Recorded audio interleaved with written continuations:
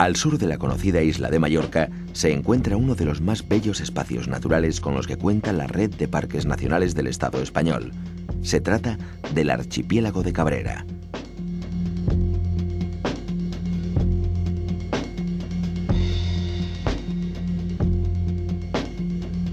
Declarado Parque Nacional Marítimo y Terrestre desde 1991, es el único de los 12 parques naturales que existen en España cuya protección incluye parte marítima. Cabrera consiste en una isla principal que da el nombre al parque y de 18 islas menores que forman el conjunto de este singular laboratorio natural. Con el objetivo de conservar la naturaleza y los valores de Cabrera, se requiere un permiso especial para navegar dentro de los límites del Parque Nacional. Para los amantes de las profundidades marinas, Cabrera es un lugar ideal se puede obtener un permiso para bucear con botellas de aire comprimido dentro de ciertas áreas del parque. El atractivo de las inmersiones en el archipiélago de Cabrera está en la presencia de especies casi aniquiladas en muchas de nuestras costas.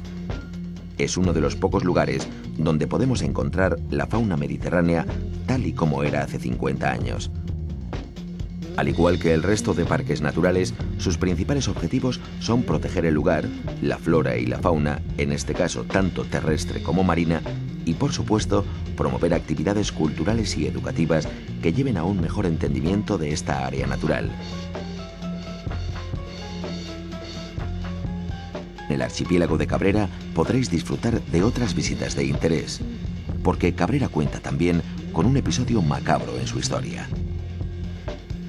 después de la derrota infringida a las tropas de Napoleón en la batalla de Bailén, unos 9.000 prisioneros franceses son confinados en Cabrera y abandonados a su suerte entre 1808 y 1814. Para esta fecha, tan solo sobrevivieron 3.600. En las paredes del castillo encontraremos morbosas inscripciones que en su día escribieron los reos franceses. El archipiélago de Cabrera se convierte así en un punto importante de interés pedagógico.